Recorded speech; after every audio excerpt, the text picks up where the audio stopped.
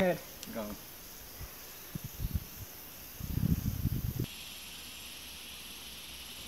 Cây sâm Ngọc Linh á, thì à, nó sống trên địa bàn là cái vùng núi nguyên sinh nghĩa là trong rừng nguyên sinh thì cây sâm ngọc linh à, mới sống được và đặc biệt là cây sâm ngọc linh nó thích hợp cái độ cao từ 1.000 đến 2.400 mét so với mực nước biển à, cây sâm ngọc linh là có cái độ che phủ tán rừng là 70% ờ, tỉnh Quảng Nam để quy hoạch cái vùng trồng sâm ngọc linh mà phù hợp nhất là trên 15.000 hecta và cái vùng rừng ờ, nguyên sinh của của huyện Nam Trà My, tỉnh Quảng Nam thì ờ, đủ cái điều kiện rất là tốt để phát triển cây sâm ngọc linh.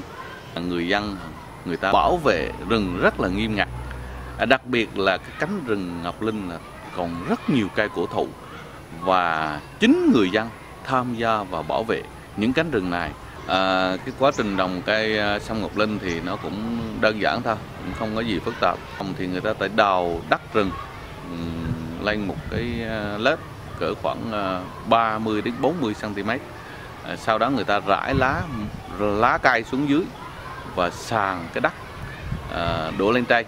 À, chúng ta trộn với tỷ lệ mùn cỡ 20 phần trăm mùn mùn mùn ở rừng mùn cây ở rừng. Sâm Ngọc Linh người dân trồng á, thì nó không dùng một cái phân nào cả.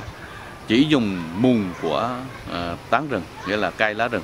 À, nếu chúng ta dùng phân hóa học thì nó sẽ cây sâm bị bị nhúng bị thối và cây sâm bị hỏng à, cái thứ hai là chúng ta trồng á, thì cũng không tưới nước.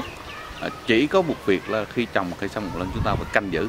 Cái cây sâm ngọc linh á, cái 5 năm thu hoạch thì cỡ khoảng là ba củ trên một lạng thì giá trị hiện nay là từ là 46 triệu đến 52 triệu một căn. Cái loại mà hai củ một lạng á, thì nó mang ở tầm là 70 triệu đến 72 triệu một căn.